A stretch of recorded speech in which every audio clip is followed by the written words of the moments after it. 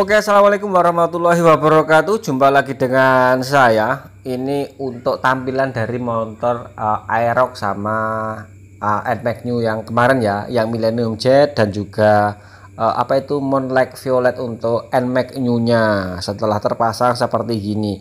Ini uh, semuanya belum saya poles, hanya saya kasih kit wax. Alhamdulillah kemarin uh, yang meleleh sudah selesai. Jadi hanya itu aja yang saya poles lainnya enggak. Jadi tinggal kepasrahkan kepada customer mengenai uh, perawatan selanjutnya. Oke baiklah uh, sesuai dengan janji saya di video sebelumnya. Jadi saya dapat pekerjaan dua set body motor dari Aerox New dan Aerox All. Terus untuk Aeroxnya ini pernah saya repaint yang new yang warna biru nih ya tiga kali sudah uh, dua kali tiga mau tiga kali ini saya repaint jadi sebenarnya catnya ini masih bagus banget. Jadi untuk ketemu ketika ketemu sudah dengan panel model seperti gini ya tentunya kita seneng banget ya. Senengnya bekas catatan kita sendiri kita tahu karakter dari bahan apa yang kemarin kita tancapkan pada warna sebelumnya. Uh, kebetulan permintaan customer ini minta warna birunya R uh, Ninja 250 yang baru. Ada kan Ninja 250 yang baru warna uh, biru hitam. Jadi saya ngoplos sendiri untuk warna yang saya buat uh, atau untuk membuat warnanya mulai dari uh, mutiara uh, biru kemudian fine white silver. Silver yang birunya lembut banget kemudian tinta biru atau keditun hijau eh, biru. Uh, keditun hijaunya dikit aja kemudian tambahi dengan violet atau ungu uh, untuk proses sanding jadi ketika mendapati pekerjaan seperti gini yang mana medianya masih mulus grade juga masih bagus itu cukup di sanding amplas grade uh, 600 kalau saya 600 atau 800 jadi jangan sampai clearnya hilang. Kemudian untuk teknik nembaknya uh, teknik nembaknya ini ukurannya begini. Kalau saya ngomongin spregan yang saya gunakan ya tentunya teman-teman kadang-kadang spregannya nggak sama ya. Ada yang pakai mungkin K350 oh. Alita uh, R berapa itu? Jadi ukuran untuk uh, nembak panel yang bekas catatan seperti gini ukurannya dari droplet kalau saya. Pokoknya dropletnya ini usahakan uh, tetap kering ya tetap kering tembak hasil tembakannya tetap kering tapi tidak sampai dengan masir. Kalau sampai dengan masir ya nanti nggak mau mau nggak mau kesek lagi lalu timpa lagi tipis. Akhirnya prosesnya lama gitu. Jadi apa pun spreganya teman-teman setting jangan sampai di setting uh, terlalu basah juga terlalu kering. Kalau misalkan terlalu basah ya resikonya keriting. Gitu. Kalau memang sudah terlanjur mungkin tinernya kebanyakan mungkin. Terus uh, spreganya nggak bisa dibuat main kering. Bisanya becek ya berarti nembaknya harus bertahap. Satu lapis diangkat sebentar baru nembak lagi. Tapi kalau uh, setting spregan dengan kemauan pikiran serta uh, media yang ditembak dengan catnya ini sudah uh, kompak ya. Nembaknya seperti gini. Jadi nggak perlu nafas-nafasan atau jeda nggak langsung tembak uh, dua layer sekali. Jadi jadi nembak pertama itu rata keseluruhan panel. Kemudian sambil nunggu ini nguap sebentar kita bisa ngecek pinggiran-pinggiran kita uh, selesaikan. Kemudian setelah pinggirannya sudah selesai nutup warnanya baru kita tembak di lapis yang kedua sudah cukup.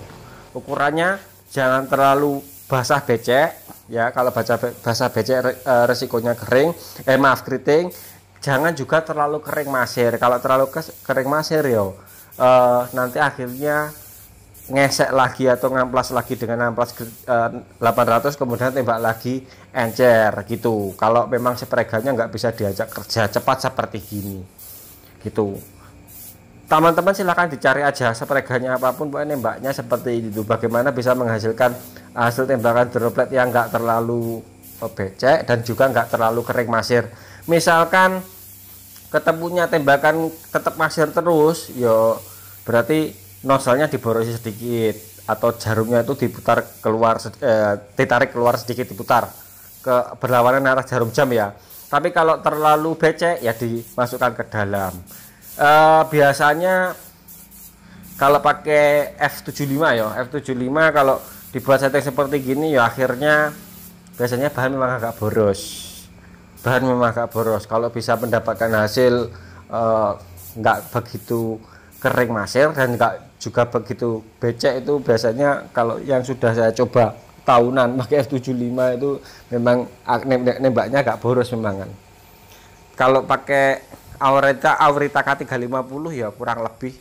Kurang lebih ya mungkin agak boncos sedikit. Ya kalau memang nggak mampu sepreganya ya bertahap aja. Oke berikutnya lanjut kepada panel yang uh, motor yang kedua aerokol ya. Ini customernya minta warna candy tone merah. Saya sudah sering bahas tentang warna candy tone merahnya ya. Dan kebetulan ini ada warna biru kan tadi sebelum ditembak dengan dasar warna candy tone nya itu sebenarnya cat sisa dari uh, tembakan yang di panel yang pertama tadi atau yang pertama tadi berhubung di uh, cat yang sisa di RPS nya itu sisa. Jadi sekalian jalan saya tembak tipis-tipis kepada area yang sandingannya jebol. Ini mes, uh, sebenarnya medianya juga masih orisinil yang motor aerok yang kedua ini ya. Jadi area yang sandingannya jebol itu saya tembak dengan cat biru supaya apa ya ngecek grid amplas atau ngecek takutnya nanti kalau amplas yang di sekitar area yang jebol itu terlalu kasar jadi kalau kita nembak tembak tipis pakai cat piu kan cepat kering jadi kerjanya bisa cepat. Paling tidak kita diamkan 5 menit sampai 10 menit itu sudah bisa digesek. Tapi kalau kita pakai cat, cat NC yo mesti lama. Jadi sekalian sambil nungguin ini tadi uh, kering saya bisa nembak di panel yang warna biru tadi. Jadi catnya memang sih jadi, saya tembakkan. Nggak masalah. Yang penting oh, kadang-kadang saya itu kalau ada bekas-bekas cat N maaf view oplosan-oplosan itu biasanya saya gunakan untuk dasar-dasar pada media panel-panel yang amplasannya bolong ya. Jadi enggak males pakai epoksi. Kalau epoksi kan nyuci-nyuci lagi ya.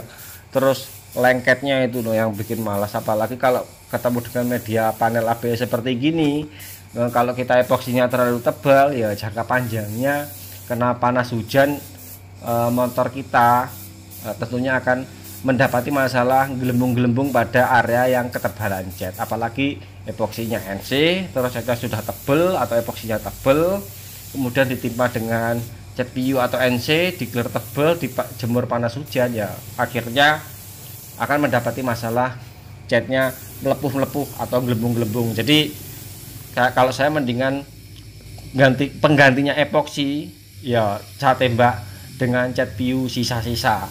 Tapi kalau memang ada yang terdapat uh, dempulan ya memang mau nggak mau harus saya epoksi. Itu pun paling epoksinya hanya pada area yang di sekitar dempul supaya nggak menimbulkan gejala retak jangka panjangnya. Kan biasanya kalau sambungan dempul karena panas hujan itu kan kalau tidak diepoksi kadang-kadang berbekas pulau gitu ya. E, dan berikutnya untuk aerok yang kedua langsung tancap warna merah candy tone e, saya sudah sering bahas seperti gini. Ini panelnya orisinil. Jadi orisinil dari dealer itu yang warna merah Ferrari itu menggunakan epoksi. Kalau Yamaha ya Aerox ya. Saya mendapati ini pakai pakai epoksi yang warna uh, abu-abu. Mungkin untuk supaya warna merahnya cepat naik mungkin. Ada juga yang nggak pakai epoksi di Honda rasanya. Honda tuh kayaknya nggak pakai epoksi. E, berikutnya kedua media ini sudah e, sambil nunggu kering. Jadi pagi itu setar langsung nembak e, amplas sending setumat e, sebentar habis itu tembak. Jam 11 itu sudah selesai e, sambil nunggu ini kering jadi saya diamkan kurang lebih satu jam karena saya ada pekerjaan. Sebenarnya kalau cuaca siang seperti gini cat PU itu 30 menit aja sudah bisa naik clear ya.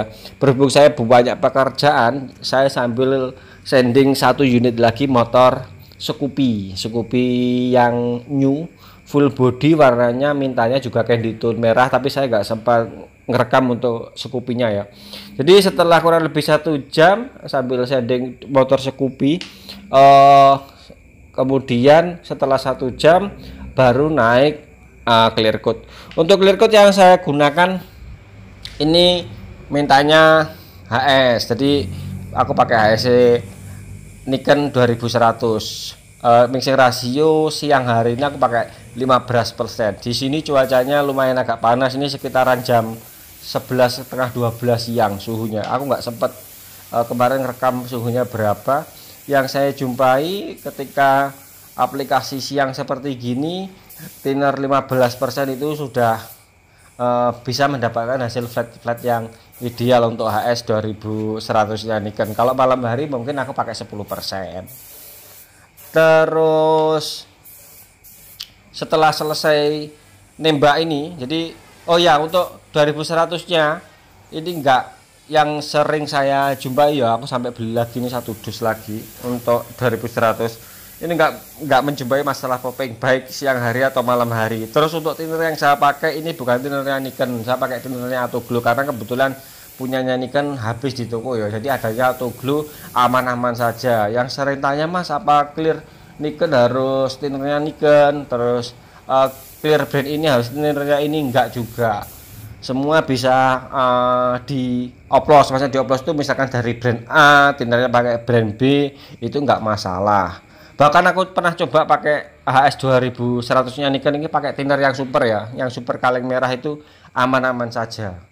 Tapi lebih bagusnya memang pakai PU jadi flatnya bisa uh, bagus. Ini hasilnya setelah uh, saya tembak. Jadi siang hari itu sekitar jam 12 itu sudah selesai dua unit motor NMAX warna biru dan uh, eh maaf Aerox warna biru dan Aerox warna merah Canditunya berikutnya jadi tengah hari istirahat sebentar isoma uh, jam 2 itu mudah setar lagi aku nembak uh, Scoopy Scoopy full set body yang minta warna sama kayak gitu ya kemudian uh, sampai halnya dengan maghrib itu baru selesai. Jadi sehari ini aku nembak tiga motor sendirian. Esokan paginya baru aku nembak pelang Scoopy jadi Scoopy-nya ini kebetulan minta satu set sama deng uh, dengan pelengnya dan kebetulan untuk peleng dari motor Scoopy-nya ini uh, ada cat baru dari Titan Premium dengan kode DB 304 bintangnya bintang 4 ya DB 304 bintangnya bintang 4 kalau di tahun premium DB ini berarti biasanya cek cat bunglon atau cat efek. Jadi aku tembak aja sekalian mau coba warna barunya dari di premium. Kebetulan customer juga pengen uh, mencoba atau pengen melihat hasilnya ketika ditembak dengan uh, DB 304 nya di premium bintangnya bintang 4 bunglon terbarunya uh, hasilnya seperti apa nanti kita akan tampilkan di akhir video. Kalau dari kodenya ini tulisannya apa ini kemarin warnanya? Golden green. Jadi biasnya itu emas sama hijau. Kalau malam itu modelnya hijaunya itu kayak model kebiru-biruan itu loh. Kemarin saya coba juga pada speed set ternyata hasilnya uh, bagus lumayan lah hasilnya. Terus partikelnya gede-gede. Jadi nggak seperti halnya bunglon-bunglon di DB di uh, sebelum-sebelumnya untuk golden green ini dia partikelnya uh, sedikit agak gede ya. Seperti halnya siralik modelnya seperti itu tapi dia ada efeknya. Oke dan jadinya untuk NMAX nya eh maaf untuk Aerox yang nyunya seperti gini minta kombinasi uh, biru hitam. Kemudian untuk Aerox yang satunya seperti biasa warnanya merah candy tone nggak sempat ngesut aku yang aerok yang merahnya ya. Kemarin videonya lupa tapi malah sekupinya yang kesut warnanya jadi sama sekupi sama aerok dan ini warnanya untuk DB 304 bintang 4 dari Diton premiumnya biasnya seperti gini. Sekilas itu terlihat biru tapi ada hijaunya dan juga ada emasnya. Seperti gitu ini warna terbaru dari Titan Premium. Oke, mungkin sedikit informasi ini uh, ada manfaatnya. Uh, sampai ketemu dengan video selanjutnya. Bye bye.